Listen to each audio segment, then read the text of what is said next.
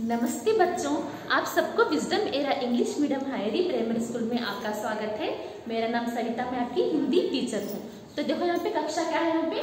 कक्षा कौन सी है? चार। चार बोले तो फोर्थ और यहाँ पे पाठ पाठ का नाम क्या है?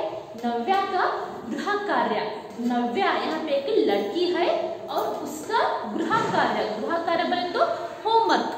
तो हमने लास्ट क्लास में देखा था कि नव्या का गृह कार्य क्या था? वहाँ एपीजे अब्दुल कलाम के बारे में लिखने का था। तो नव्या को कुछ भी नहीं पता था।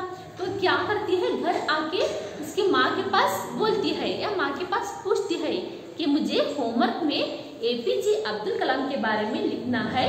मैं कुछ नहीं जानती। तो वहाँ पे माँ अब्दुल कलाम के बारे में बताने शुरू हो जाती है। उससे पहले हम यहाँ पे छोटी सी टिप्पणी देखेंगे। यहाँ पे क्या है?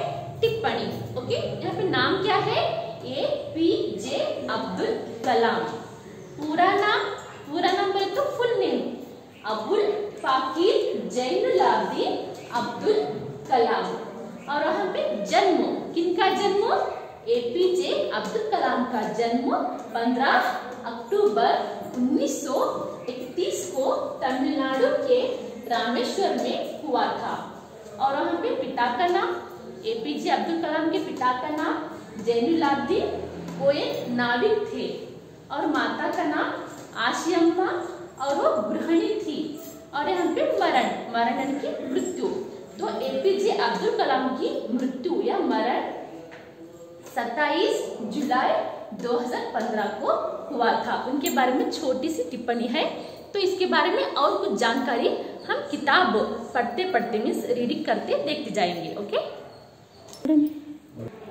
तो देखो बच्चों, यहाँ पे क्या है? ए पी जे अब्दुल कलाम का पूरा नाम अबुल पाकिर जैनुलाब्दीन अब्दुल कलाम है।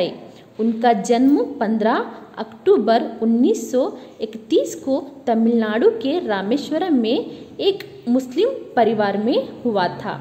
उनके पिता एक नाविक और माता गृहिणी थी। बचपन से ही उन्हें पढ़ने, लिखने और कुछ नया सीखने का बहुत शौक था। परिवार की आर्थिक स्थिति अच्छी नहीं थी।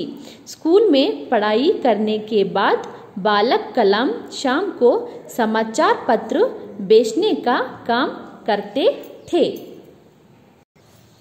तो देखो बच्चों, जैसे कि हमने देखा यहाँ पे, अब्दुल कलाम का पूरा नाम और इनके पिता का नाम, उनकी माता का नाम तो यहाँ पे अब्दुल कलाम जो है उनके पिता क्या काम करते थे? वो एक नाविक थे। क्या काम करते थे? नाविक थे। और इनकी माँ क्या करती थी?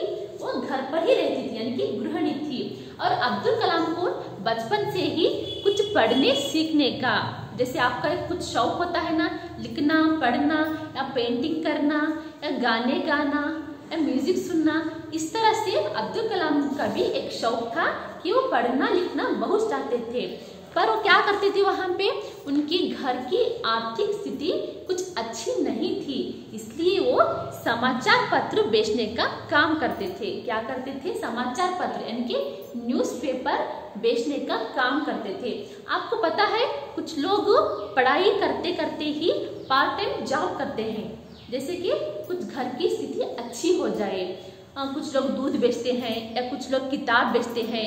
उसी तरह यहाँ पे अब्दुल कलाम भी अपने घर की आर्थिक स्थिति को सुधारने के लिए समाचार पत्र यानी कि न्यूज़पेपर बेचने का काम करते थे।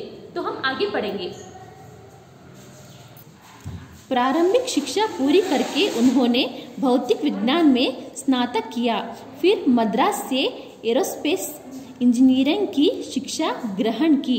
इंजीनियरिंग के बाद कलाम ने रक्षा अनुसंधान और विकास संगठन में वैज्ञानिक के तौर पर कार्य किया।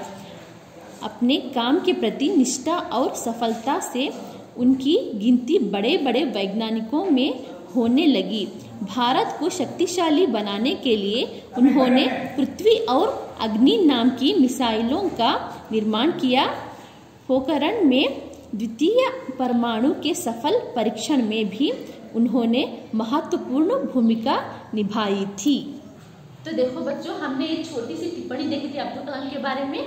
तो उनके बारे में और कुछ जानकारी है, मैं आपको अगली कक्षा में बताऊँगी। उससे पहले आप घर में एक बार टेक्स्ट बुक को रीड कीजिए, टेक्स्ट बुक को पढ़िए, ओके? धन्यवाद।